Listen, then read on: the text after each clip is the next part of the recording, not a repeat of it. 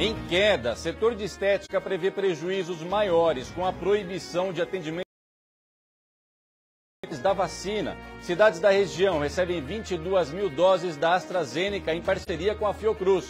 Fiscalização comprometida. Os radares inteligentes de Mogi e as lombadas eletrônicas das rodovias administradas pelo DR não estão funcionando e a gente explica o porquê. É agora no Diário TV.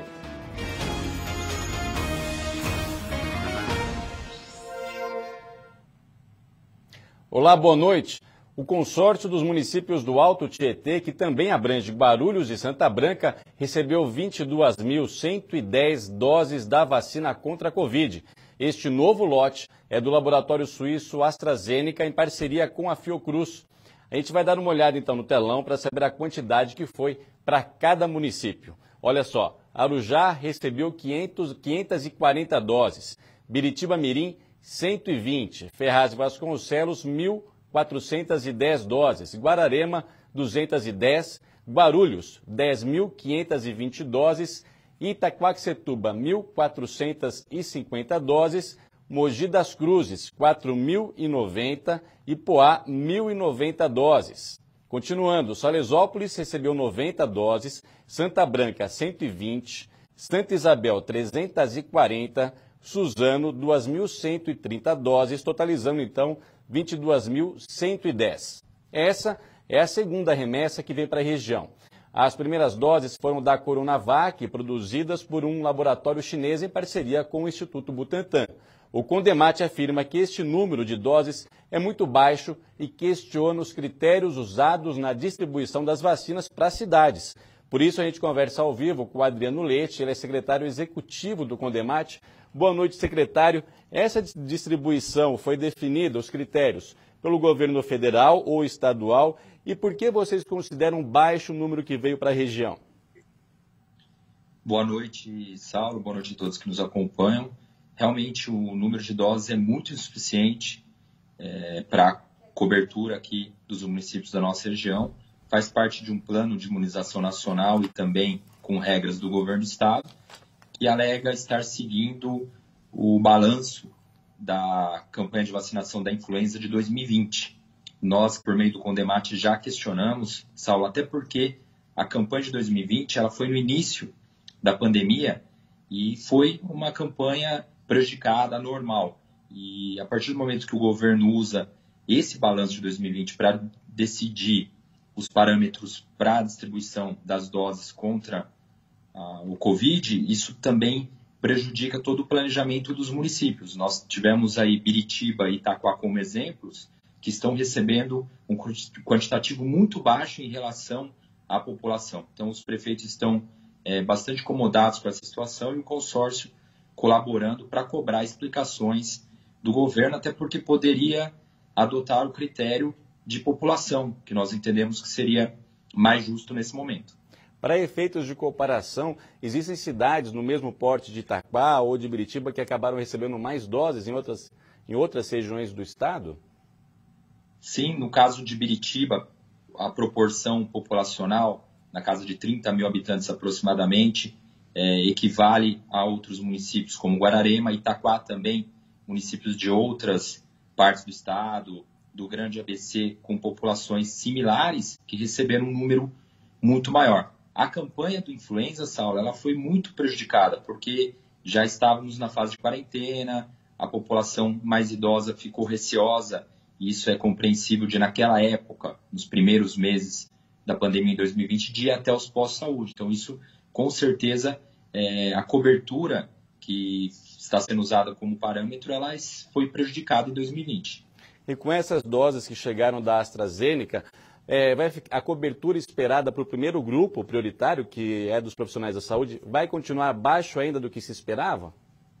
Infelizmente, abaixo, Sal, com as doses que os municípios retiraram hoje na GVE, nós calculamos de forma aproximada que, somado ao primeiro lote da semana passada, é suficiente para 70% dos trabalhadores em saúde aqui da nossa região. Somando o lote da Coronavac da semana passada e o de hoje da Oxford, nós totalizamos 50.860 doses aqui para a nossa região e dados agora atualizados é, momentos atrás, final da tarde, temos aproximadamente 15 mil profissionais de saúde já é, imunizados aqui na nossa região. Isso representa próximo de 20 a 25% de todo o grupo prioritário de trabalhadores em saúde e também temos nesse primeiro grupo os idosos institucionalizados. E agora nós temos duas vacinas na região. Como é que fica? Quem tomou a Coronavac precisa esperar a outra remessa da Coronavac para tomar a segunda dose? E o mesmo vale para a vacina de Oxford? Os municípios estão é, tomando todo cuidado por meio das vigilâncias epidemiológicas para ter esse controle. Justamente, é, não podemos misturar as vacinas. Então, quem foi imunizado com a primeira dose da Coronavac, por exemplo, na semana passada, tem que aguardar para ser do mesmo instituto, do mesmo fabricante, para não ter problema aí com relação à eficiência é, dessa imunização. A continuar nesse ritmo, quando é que a vacinação vai chegar para a população em geral, o senhor acredita? Então, esse é outro ponto que nós estamos cobrando com bastante intensidade, porque o governo, até o momento, encaminhou dois lotes, Saulo, mas não ah, divulgou em nenhum momento um calendário dos próximos lotes. Não temos ainda informação se nessa semana teremos novas doses, somente na semana que vem temos as, apenas as informações do noticiário em geral. Então essa é uma preocupação para acelerar e cumprir todo o calendário de grupos prioritários, mas infelizmente não temos oficialmente essa informação. É, infelizmente são muitas incertezas, mas a gente vai acompanhando tudo aqui. Muito obrigado, Adriano Leite, pela sua entrevista aqui com a gente. O secretário executivo do Condemate acabou de falar ao vivo sobre a vacinação na região. Muito obrigado pela sua entrevista. Obrigado, Saulo. Nós também agradecemos a atenção. Uma boa noite. Igualmente.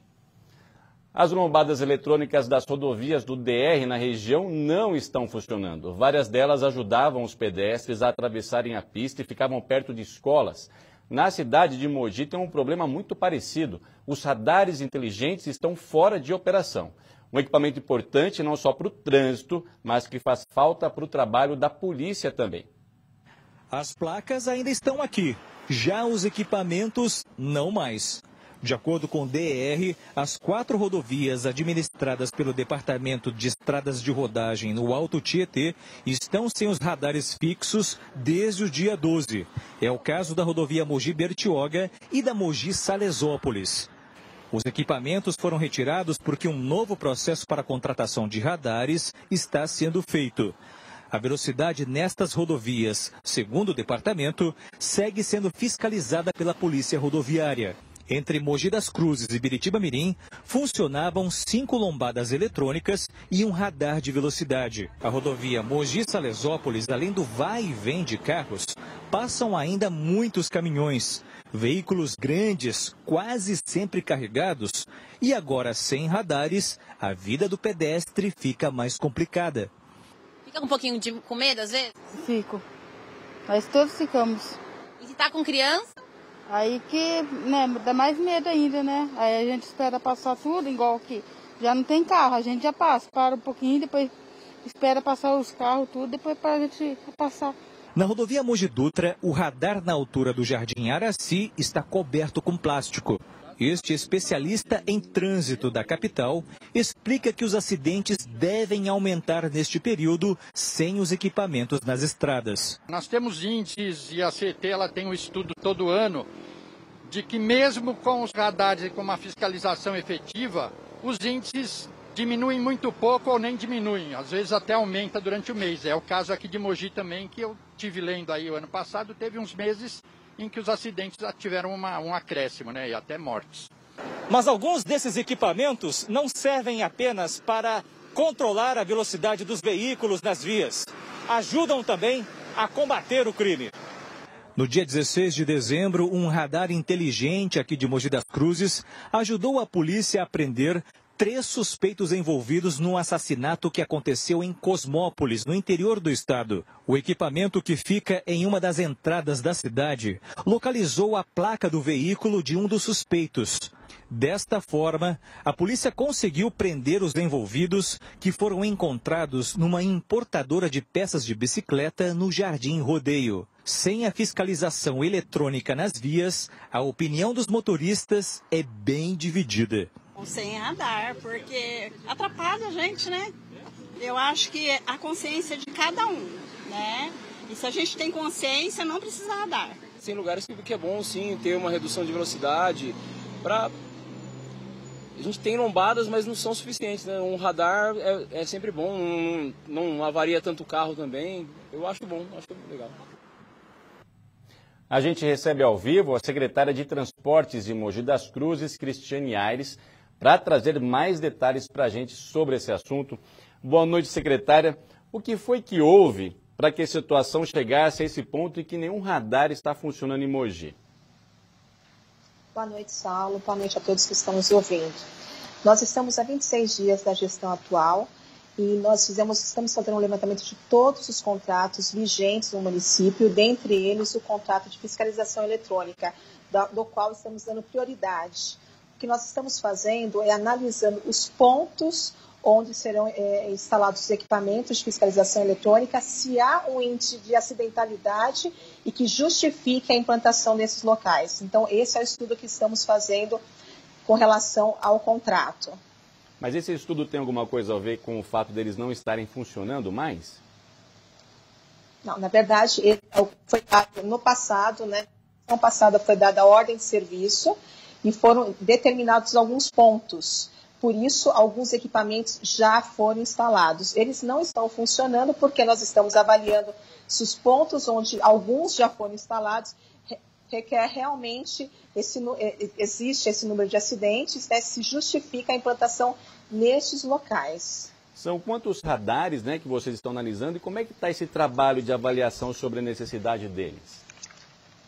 Na verdade, o, o, o antiga, no contrato anterior, haviam 31 equipamentos, e nesse novo contrato, 39 equipamentos, vários tipos, dentre eles o, o radar fixo, que é em sua grande maioria, barreira eletrônica é, e o equipamento estático, né, que é o, o, o equipamento móvel. Então, a gente está fazendo uma análise dos locais, levantando o cadastro de acidentes aqui, tanto da Polícia Militar, a base de banco de dados da Polícia Militar, como do SAMU, a gente está verificando a necessidade, se há um risco potencial para ocorrência de acidentes. A gente sabe da importância do, da fiscalização, do equipamento de fiscalização, ele ajuda a, a, a reduzir acidentes, a gente está trabalhando aqui para salvar vidas. É o que a gente quer fazer. Então, a gente quer salvar vidas, evitar acidentes. Por isso, a gente quer trabalhar de uma forma assertiva e verificando isso, estamos em fase de conclusão para essa verificação. Como é que é a questão financeira desse contrato? Né? Era muito oneroso para a prefeitura? Como é que funcionava a forma de pagamento para a empresa e quais eram os valores? Então, na verdade, é, não, não houve nenhum desembolso nesse momento. Aliás, foi, houve somente um desembolso referente ao processamento de multas, que o processamento de, de, multas faz parte desse contrato, e até então não houve nenhum desembolso por parte da prefeitura com relação a esse contrato. Sabe quanto que era antes, os valores? Não tem em mãos o, valor do contrato anterior. Tem uma previsão, rapidamente, para quem está em casa, ter uma ideia de quando que eles devem ou não voltar a funcionar, de acordo com o resultado do estudo? Eu acho é o mais breve possível. A gente imagina no máximo uma semana a gente já tem é, a conclusão referente aos pontos. Lembrando que para que eles passem a funcionar e, e e ter uma efetiva é, é, condições de autuação, ele tem que ser é, antes feito uma, uma aferição do Inmetro. Então, temos toda essa parte ainda de aferição, de regulamentação do equipamento para que ele possa, de fato, é, poder gerar alguma atuação. Tá ok. Secretária, muito obrigado pela sua entrevista aqui com a gente, as suas informações. Uma boa noite para a senhora. Boa noite. Eu só posso fazer mais uma colocação é, com relação a, a partir do momento que os equipamentos passem a, ser, a funcionar, nós faremos uma, um, uma sinalização bem grande referente a isso, colocaremos para todos que saibam os pontos onde há existência do equipamento de fiscalização com placas de regulamentação e complementando que o equipamento hoje, que no passado, o equipamento estático, conhecido como móvel, ele autuava, nós não utilizaremos mais como autuação, para autuação, somente para nos orientar e nos auxiliar em alguma ação de engenharia de tráfego. Certo, informações importantes aí para os motoristas, né? Muito obrigado novamente, secretário. Uma boa noite. Boa noite. O setor de serviços aos poucos vem se recuperando, mas ainda está abaixo do registrado antes da pandemia. O último levantamento do IBGE destaca as atividades que tiveram alta no fim do ano passado entre elas transportes e turismo. Origem e destino. Uma viagem personalizada na palma da mão. Nesse período de pandemia, aplicativo de transporte tem sido a alternativa de muita gente para evitar os coletivos que vivem lotados. Mas apesar do aumento da demanda, os motoristas ainda não conseguiram obter a mesma renda de antes da pandemia. Com o desemprego, aumentou os motoristas também pela facilidade que se tem de entrar na plataforma. Existe também outro fator que é a tarifa e o aumento da gasolina. Quando você junta todos esses componentes, você tem, na verdade, uma estabilidade enganadora. Isso porque, segundo o último levantamento divulgado pelo IBGE, entre maio e novembro de 2020, a atividade de transportes fechou sete meses seguidos de crescimento, acumulando um ganho de quase 30%, incluindo transporte rodoviário de carga e transporte de passageiros. Mas para alcançar o nível de fevereiro de 2020, mês que antecedeu o início das medidas de isolamento social, ainda precisa avançar mais de 5%. A mesma pesquisa mostra que o índice de atividades turísticas cresceu quase 8% em novembro do ano passado, em comparação ao mês anterior. Acumulou ganho de mais de 120%. Mas para chegar ao patamar de antes da pandemia, o setor ainda precisa crescer mais de 42%. O IBGE destacou ainda que o isolamento social atingiu mais intensamente os setores que incluem hotéis, restaurantes e, principalmente, transporte aéreo. Nesta agência em Mogi, a procura por viagens mais próximas aumentou cerca de 40%. Nossos passageiros viajavam muito para fora do Brasil e agora, com as fronteiras, grande maioria delas fechadas, a gente teve que mudar o, o estilo de viagem. Então, locais mais próximos, resorts, hotéis fazendas aqui na região, na qual a gente tem bastante, tem sido a nossa maior procura hoje aí no meio dessa pandemia. A gente está esperando ansiosamente aí para que a vacina chegue, as coisas se normalizem, as fronteiras abram e a gente tenha ainda essa, essa demanda represada. E daqui a pouco a gente fala sobre os números da Covid-19 porque a região chegou hoje a 2 mil mortes pela doença e também o setor de estética acredita que os prejuízos devem aumentar com a proibição de atendimento aos sábados. O Diário TV volta já já.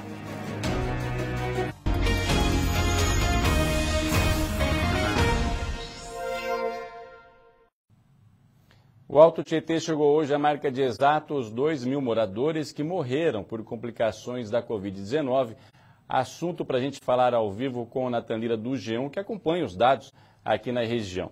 Boa noite, Natan. Quantos dias se passaram entre a primeira morte e a mais recente?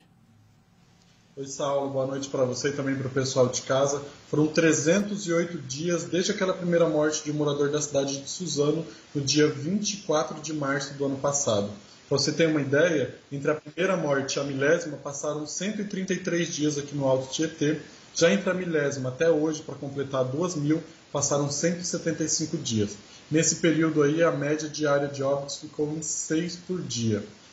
Só nas últimas 24 horas foram registrados aqui no Alto Tietê mais de 17 mortes pela Covid-19. As últimas vítimas eram de, eram de eram uma da cidade de Arujá e também uma de Salesópolis, duas de Suzano, cinco de Mogi das Cruzes e oito da cidade de Itaquaquecetuba. Também foram confirmadas nas últimas 24 horas mais 313 novos casos da Covid-19, além de 202 pacientes que se recuperaram. No acumulado, então, desde o início da pandemia, 50.225 moradores das 10 cidades testaram positivo para o novo coronavírus, dos quais 38.478 estão recuperados. E, Saulo, os números da pandemia aqui na região continuam indicando uma aceleração nas mortes pela Covid-19. A gente percebe isso porque para a região de 1.700 para 1.800 óbitos passaram 19 dias. Já depois, para ir de 1.800 para 1.900 óbitos, passaram 15 dias. E agora, para a região avançar de 1.900 para 2.000 óbitos, passaram apenas 14 dias.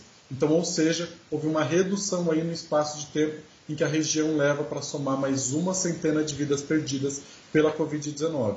E a média móvel aqui do Alto Tietê também está indicando uma elevação de 28% nas mortes pela Covid-19 quando a gente compara os números de hoje com duas semanas atrás.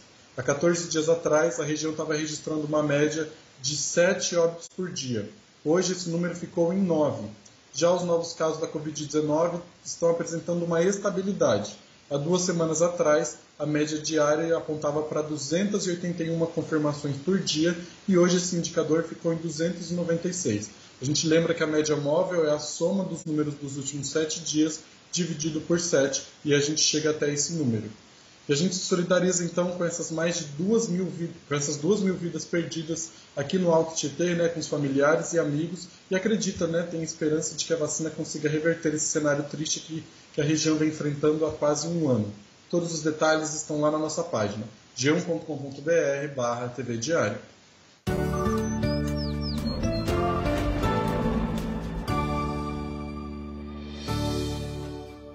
A quarta-feira promete manter o mesmo calor em toda a região. Mais uma vez, a possibilidade de pancadas de chuva no fim da tarde e à noite se repete.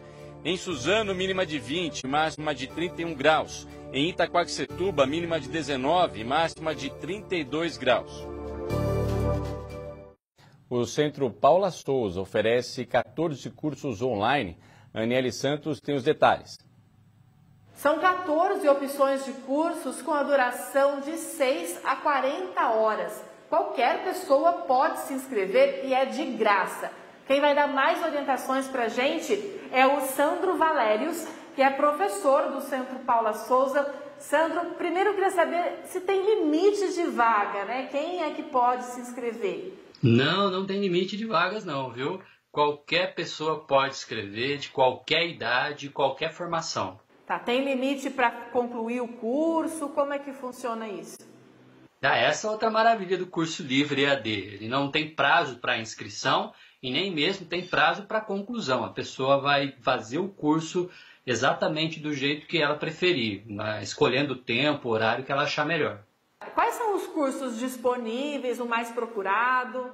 Não, nós temos 14, 14 cursos na nossa plataforma. Os mais procurados dele são curso de inglês, gestão de pessoas, é, design, Photoshop, gestão do tempo, curso de espanhol. Para me inscrever em um curso, eu preciso terminar o outro ou eu posso me inscrever em todos que eu quero?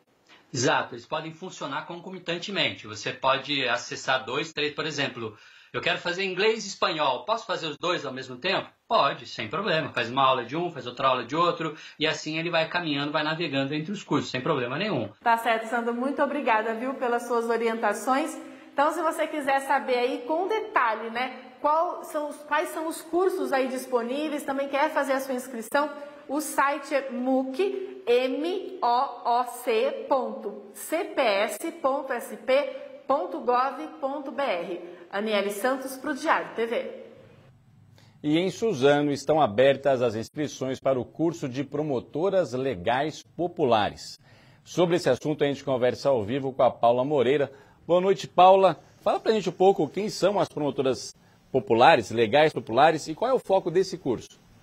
Oi, Saulo. Boa noite para você, para quem está acompanhando o Diário TV. O curso é voltado para mulheres, para que elas conheçam os seus direitos e, principalmente, identifiquem aí quando eles são violados, para quem pedir ajuda, para quem recorrer nesse momento. Eu vou conversar com a Larissa Chiuchi, que é diretora do SAS, que vai dar mais detalhes para a gente sobre esse curso. Larissa, boa noite. É, quem ministra né, esse curso e o que, que as mulheres aprendem nele? Boa noite a todos. Bom, o curso de promotoras legais populares, que agora nós estamos na nossa nona edição aqui em Suzano, ele visa a ensinar as mulheres a adquirir conhecimentos de direitos, das leis, políticas e serviços públicos também. Então ele tem um conteúdo completo outros palestrantes, que a maioria deles são pessoas especialistas voltadas para a área de direito, e eles ensinam toda essa parte de direitos, empoderamento das mulheres, para que elas tenham voz e buscam seus direitos. Legal, e isso que eu queria ver com você um pouquinho sobre os temas, né? Que temas são abordados, é, como que elas entendem aí a quem recorrer, né, em caso, enfim, caso precise?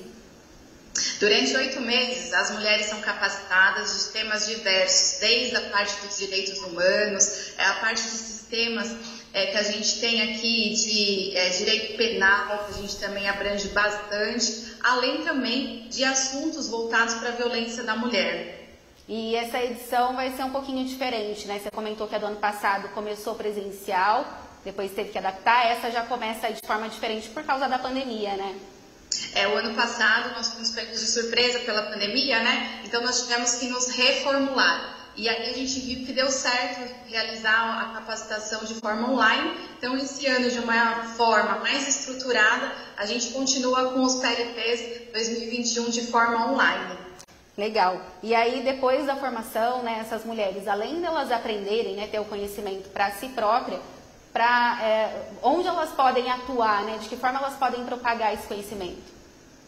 Bom, depois da capacitação, além de elas serem mulheres, se tornarem mulheres empoderadas, elas podem ajudar outras mulheres como voluntárias e ajudar essas outras mulheres a, a entender os seus direitos, a terem voz. Então, a maioria delas se tornam voluntárias em atividades do poder principalmente. Legal.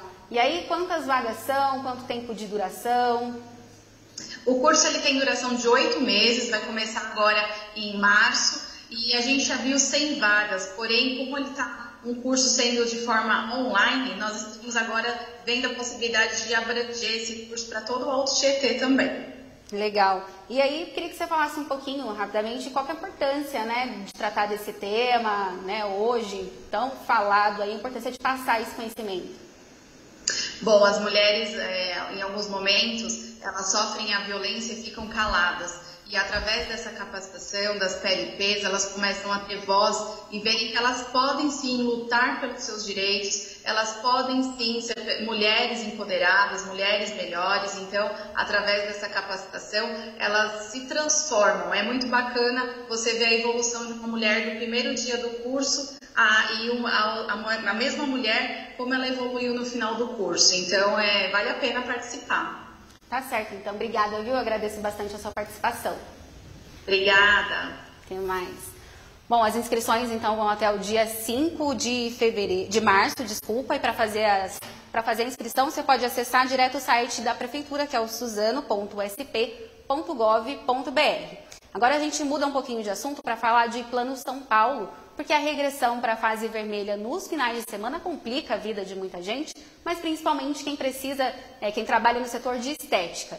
Veja na reportagem. Trazer todo mundo que prefere tirar um tempinho para se cuidar aos sábados para o meio da semana vai ser uma missão difícil para Marília. Ela é design de sobrancelhas e no fim de semana é quando mais lucra. Geralmente quem vem de sábado é porque trabalha até geralmente mais 18 horas, 18 e 30 e eu vou trabalhar esse horário também. Vou começar a partir das umas para conseguir ali cumprir as 8 horas por dia. Os cuidados por aqui continuam os mesmos. Uso de máscara, luva, a cada troca de cliente tem a higienização. E a maioria dos materiais ainda é descartável. Só conseguiu se manter quando o espaço estava fechado porque continuou em contato com as clientes. Eu usei a estratégia